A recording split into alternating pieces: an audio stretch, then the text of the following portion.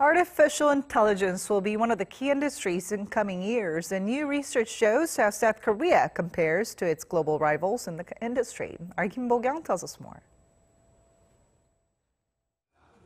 Capability in artificial intelligence can be measured by several indicators.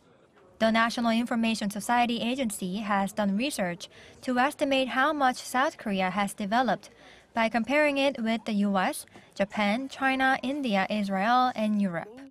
The results of the research show that South Korea is among the leaders in AI, but that there are also some areas that the country needs to work on. China ranked first for the number of patents registered with around 1,300 patents. The US was next with about half of China's, and South Korea ranked third, just behind the US. When it comes to the number of research papers published, China again led the way, followed by the US, with Europe third with more than 130 papers. The US was top for AI market size, followed by the England and China. South Korea was ranked fifth for AI market size. Although one of the leaders in AI, South Korea is quite a way behind the US and China. An expert on AI says the South Korean public didn't show much interest in AI until Korean Go master Lee Se-dol was defeated by an AI opponent.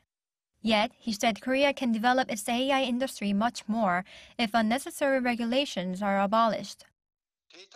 The biggest weakness of South Korea's AI industry is that it cannot use data effectively due to the law and systems which need to be redesigned. So it is necessary to get rid of regulations that deter the development of AI, make a choice and focus on something we're good at.